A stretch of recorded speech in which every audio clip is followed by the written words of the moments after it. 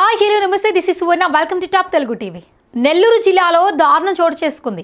లింగసముద్రం మండలం చినపవనిలో స్నేహితుడి భార్యకు మత్తుమందిచ్చి ఓ కామాంతుడు అత్యాచారం చేశాడు.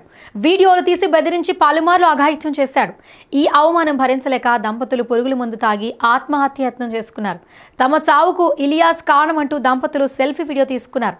ఆత్మహత్యయత్నం చేసిన దంపతులను కావలి ఏరియా ఆసుపత్రికి తరలించారు. ఇద్దరికీ ప్రాణాపాయం తప్పిందని వైద్యులు తెలిపారు. ప్రస్తుతం నిందితుడు పరారీలో ఉన్నాడు. తాము ఆత్మహత్యయత్నం చేసుకోవడానికి ఇలియాస్ మెహబూబ్ బాషా ఫాతిమా హసీనాలే కారణమని బాధితురాలు తెలిపింది. తన భర్తను తాగుడుకు బానిసగా చేశారని తనకు కూల్ డ్రింక్లో మత్తుమందు కలిపి దారుణానికి పాల్పడ్డారని బాధితురాలు కన్నీటి పర్యంతమైంది. బాధితురాలి భర్త మాట్లాడుతూ ఎన్నో రోజుల నుంచి నరకం అనుభవిస్తున్నామని తెలిపాడు. ఇక బతకలేక ఆత్మహత్యయత్నం చేసుకున్నామని వెల్లడించాడు. బాధిత భార్యాభర్తలు ఇద్దరూ నెల్లూరు రంగనాయకపేటలో చెందినవారు.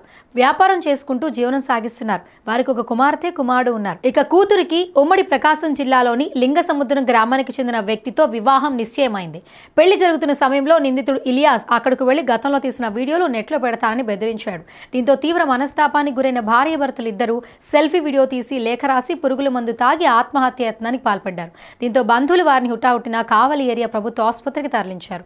ఈ ఘటనపై కందుకూరు పోలీసులు కేసు నమోదు చేసి దర్యాప్తు చేస్తున్నారు. సబ్స్క్రైబ్ చేయండి.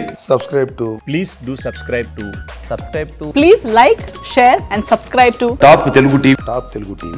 Top Telugu TV. top telugu tv top telugu tv